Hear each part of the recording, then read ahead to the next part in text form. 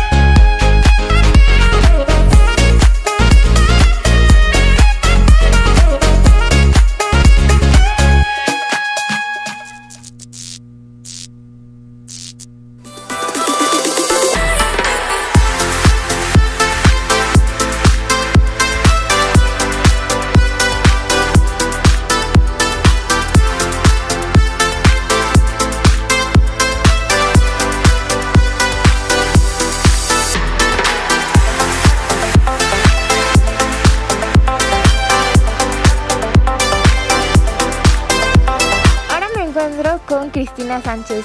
¿Cómo estás, Cristina? ¿Nos puedes comentar un poco sobre estos sombreros tan bonitos que tienes en exhibición? Eh, ya, a ver, voy a explicar el sombrero de paja toquilla. Eh, tenemos acá el modelo. Nosotros compramos acá en la plazuela de la Alameda de esta manera, ¿no? Que viene con la paja y acá ya lo damos todo el terminado para que queden los diferentes modelos. Tenemos, por ejemplo, el sombrero chalán, que son los que tienen el, estos, por ejemplo, ¿no? Que tiene el ala más grande, es el sombrero chalán, que lo utilizan mayormente para montar a caballo. ¿no? Y también tenemos el borsalino, que es el sombrero más pequeño, como el que está puesto acá la señorita, ¿no? Eh, este es el borsalino, tenemos también acá el otro modelo, que es el panameño.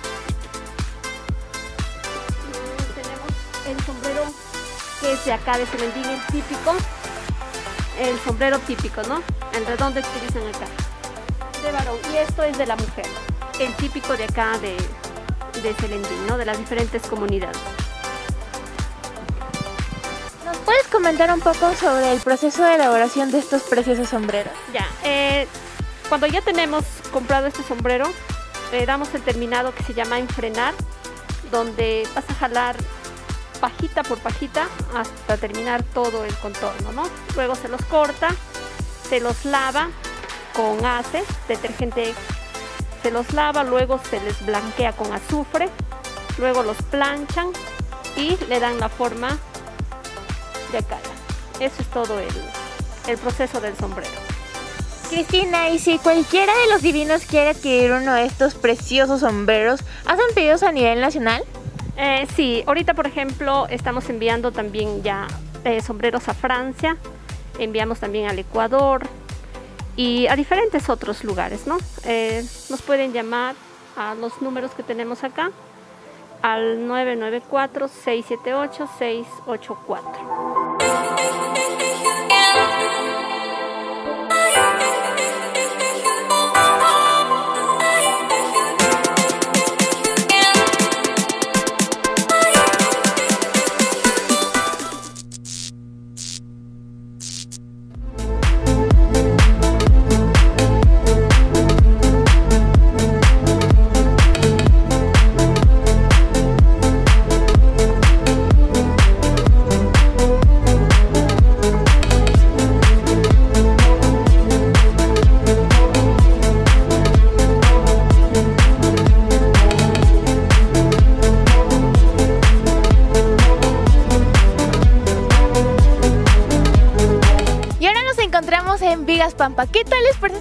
Maravillosas vistas que tenemos aquí? El trayecto de Cajamarca a Vigas Pampa nos duró dos horas y atrás mío tengo la catarata Velo de la Novia. Está muy bonito el lugar. Tanto como el trayecto al momento de llegar van a tener unas vistas increíbles, así que si vienen van a tener un paisaje muy bonito, no se lo pueden perder.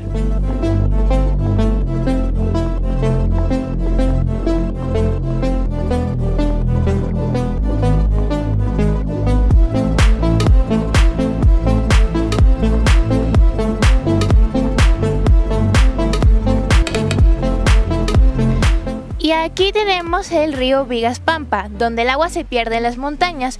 El agua lleva un trayecto de 300 metros que conlleva a lo que sería la formación del catarata del velo de la novia.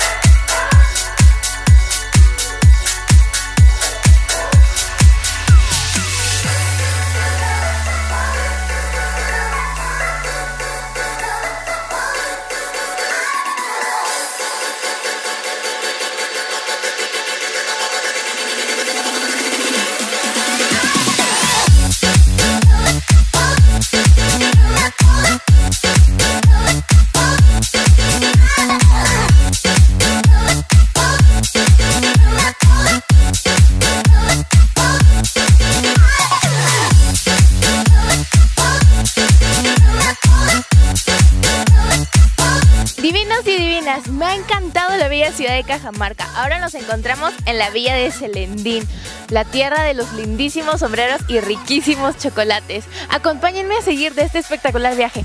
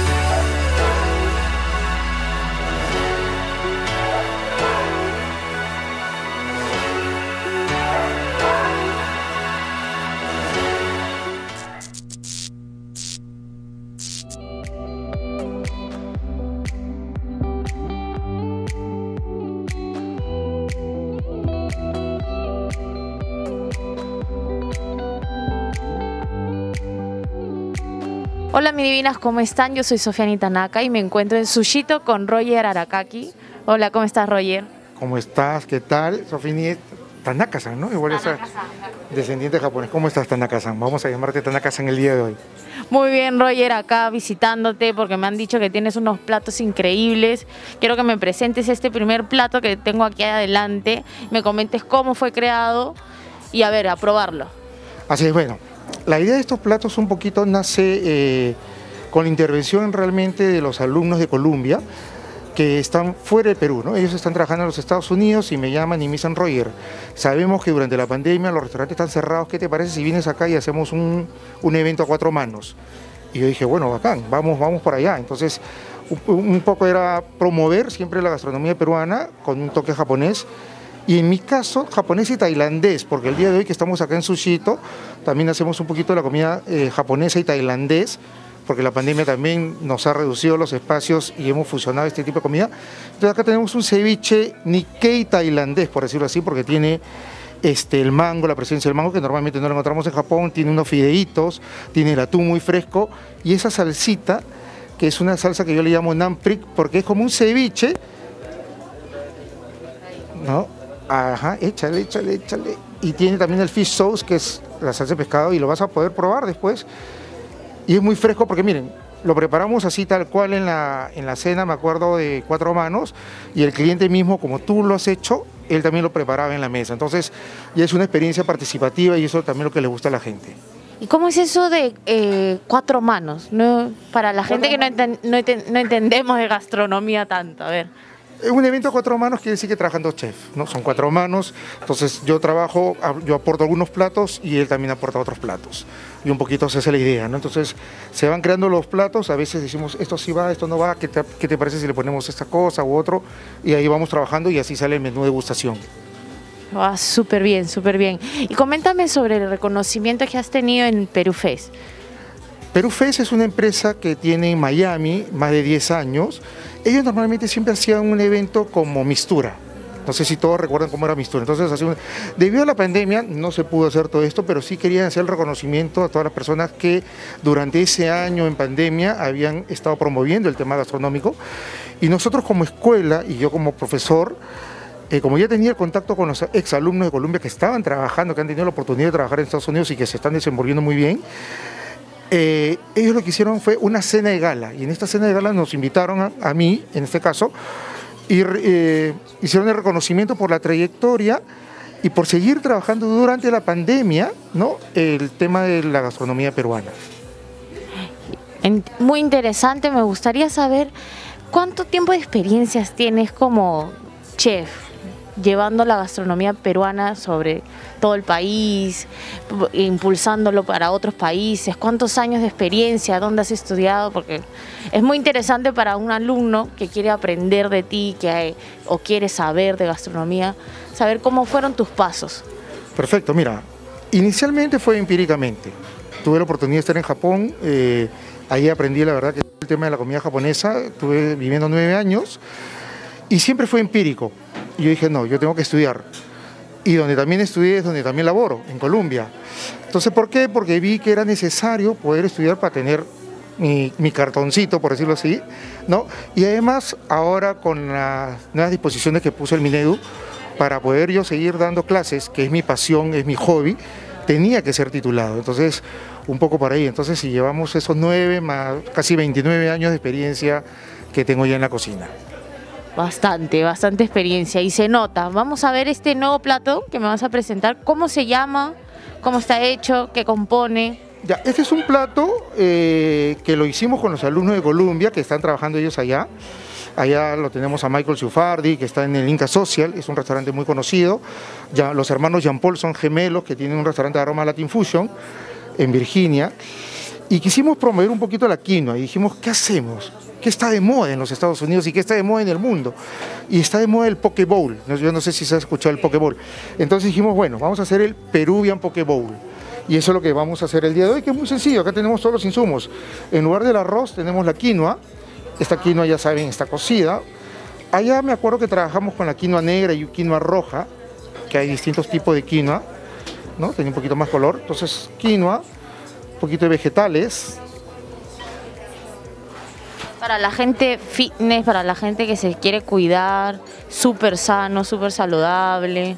Yo ahorita que, que estoy en pleno, plena dieta, est- este me viene bien y este también, la verdad que Y ahora que estamos en verano, sobre todo, ¿no? en verano quien no quiere estar con nuevo cuerpo, pero todos nos animamos a hacerlo a última hora, ¿no? Un poquito de salmón, que el salmón encontramos en todos lados. Un poquito de palta. ¿No? La palta es esa cremosidad. En realidad la palta es cremosa y el salmón también es cremoso, ¿no? Tiene mucha fibra, mucho, mucho omega 3. Así es. Y vamos a colocar un poquito acá de pepino, que es el pepino japonés, no es el pepino normal. El cutie. Yuri, exacto. Y acá, acá sí he preparado, mire, como un- unos tomatitos cortaditos para darle un poquito de color.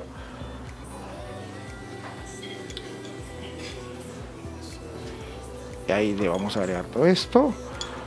También tiene presencia el tamagoyaki, que es la tortilla japonesa que tú debes conocer muy bien. Vamos a ponerlo ahí. Y terminamos con la salsa del acevichado, que se utiliza mucho en los maquis. La gente no sabe, muere por esta salsita. Entonces acá le vamos a poner un poquito el acevichado. Esa salsa es Una delicia. Todo el mundo quiere el acevichado por la salsa, ¿no? Es el punto. Ahí ya si tú quieres le podemos agregar un poquito, no lo estoy agregando acá, pero el togarashi, que es el picante japonés, o semillas de sésamo, ¿no? Semillas de ajonjolí. Y ese es uno de los platos que también hemos presentado en el evento este a cuatro manos, ¿no? Bueno, y es así un poquito este trabajo que uno viene realizando y Perú FES este, reconoce este trabajo junto con los alumnos, eh, exalumnos de Columbia, y es ahí donde nos llaman y no solamente recibo el premio yo a nombre personal, sino que también recibe la Escuela Columbia por promover y por, por siempre sacar adelante a los alumnos y, darles ese apoyo ¿no? Eh, después de haber terminado la carrera. Sí, ¿cuántos años ya eres jefe de la carrera de gastronomía en el Instituto Columbia? Mira, en Colombia yo tengo casi 18 años trabajando, de los cuales creo que estoy eh, como jefe de carrera hace 5 años, más o menos, ¿no? Siempre estuve como docente, ¿no? En la parte gastronómica, la parte oriental, y bueno, ahora último siempre, bueno, igual, encargándome de la parte de docencia y como jefe de carrera, ¿no? Habíamos recibido un premio anteriormente con otra empresa que era Perú to the World Expo, también hemos estado ahí, he tenido la oportunidad de que Perú también nos invite eh, a trabajar en la Expo Dubai, ¿no? en el pabellón de Perú, haciendo, haciendo una cooking demo, de los cuales casi los platos han sido muy parecidos a los que hemos también presentado en Dubai. ¿no? Qué genial, en verdad. Qué gusto es que seas jefe de una carrera y lo lleves tan bien, ¿no? Te lo lleves y lo impulses todo el tiempo y en esta pandemia la hayas seguido impulsando nuestra gastronomía peruana. Yo creo que esta parte la tengo de, más que un trabajo, lo veo como un hobby, ¿no? Y es lo que me apasiona y lo que disfruto haciendo, ¿no? Eso es importante. Bueno, Roger, muchas gracias. Invítanos a venir a tu restaurante, invítanos a la carrera esta de gastronomía en, el Instituto de Columbia. muchos chicos quieren hacer algo nuevo, o, como tú, son empíricos, pero necesitan el cartón, quieren profesionalizarse. El cartón es, es, aprender esas técnicas que a veces empíricamente no las aprendes. ¿no? Entonces es importante porque nosotros en Colombia, eh, este 14 de marzo, tenemos el primer inicio Así que los invito a todos a participar ahí. Es más, estamos aquí en el restaurante Sushito y todas las personas que ya nos conocen y que están llevando el curso saben que ellos tienen el apoyo de todos los profesores. En mi caso, los alumnos pueden venir a hacer prácticas acá. Es más, ahorita estamos grabando y la persona que está ahí en la barra, uniformado de negro, él es Enzo y él también es alumno de Colombia está cursando estudios. Así que ya saben, a todos, inscríbanse y este 14 de marzo los vemos en Colombia. Muchas gracias.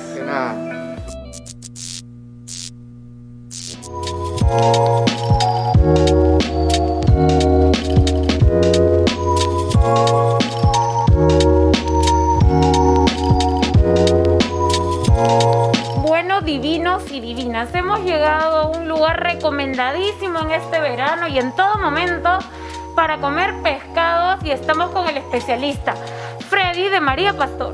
Hola Claudia, ¿cómo estás? Bienvenido a la cevichería María Pastor. Aquí tenemos una variedad de ceviches para verano, para empezar bien el verano. Por aquí tenemos el ceviche clásico, el ceviche normal. Es un ceviche a base de pescado. En este caso utilizamos nosotros el ojo de uva. Es un pescado fresco, nutritivo y muy rico. Y a ver, cuéntame, a ver, todos queremos ver esto de acá. ¿Es un tiradito? Mm, el corte es un corte de tiradito, pero tiene una salsa que está a base de el ají amarillo, el ají rocoto y el pimiento. Es una reducción, tiene mucho sabor este platito. Uy, qué rico, Freddy. Acá yo voy a comer todo, ¿ah? Ahora quiero que me cuentes esto, se ve delicioso, empanizado. A ver. Sí, es un ceviche caliente, es un ceviche especialmente para invierno, para el frío, pero en este caso lo hemos preparado. Es un ceviche básico, pero tiene este, lo que es em, el empanizado, ¿no? Tiene harina, huevo y lo que es panquito, para que le dé un poco más de sabor. Te puedo hacer una pregunta que de repente todos están haciendo en casa. ¿Cómo es el ceviche caliente? El ¿Qué ceviche... El ceviche caliente es un ceviche que se marina como un ceviche normal, solo que le agregamos harina, huevo y lo mandamos a freír. Eso es básicamente. Por adentro lo vas a encontrar como un ceviche, como un ceviche normal, fresquito, y por afuera está crocantito. Mira, yo de todas maneras lo pruebo, no importa si es verano, si es invierno. Ahora venimos por aquí, esto me parece medio oriental. Sí, Cuéntame. sí, es un ceviche oriental. Voy bien, voy sacando Sí, 18. sí. 20, 20. Es un ceviche este, básico, pero tiene lo que es este, la salsa ostión y lo que es el sillao. Un poquito de aceite de ajonjolí para que le realce el sabor y le dé más, sea más rico. Qué rico. Y siguen los platos. Acá hay una copa deliciosa. Cuéntame, Freddy. Este es un cóctel, un cóctel de ceviche, pero en este caso le he agregado este, todo lo que son mariscos. Tiene todo, concha de abanico, este, calamar, Langostino. sí, langostinos. Tiene un toque de alcohol, en este caso he utilizado ron. Uy, Y van a salir bailando. Pero yo quiero probarlo, amigo. A mí me encantan los langostinos. Bueno, bailamos después un TikTok. sí, yo creo que sí. Aparte que el langostino es 90% de proteínas. Uy, o sea, mi entrenador va a Sí, estar contento. Ya, muy muy, contento. bien, muy bien. Y Y, por último- ahora, en una piña. ¡Qué novedad! tenemos un ceviche hawaiano o un ceviche enfrutado. Es un ceviche que está hecho con frutas y también pescadito. Mm, Uy, María Pastor nos ha sorprendido la verdad. Miren toda esta variedad, chicos, así que ya saben, tienen que venir, por favor. Dirección, teléfono, reservas. Estamos de lunes a domingo, de 10 de la mañana a 6 de la tarde.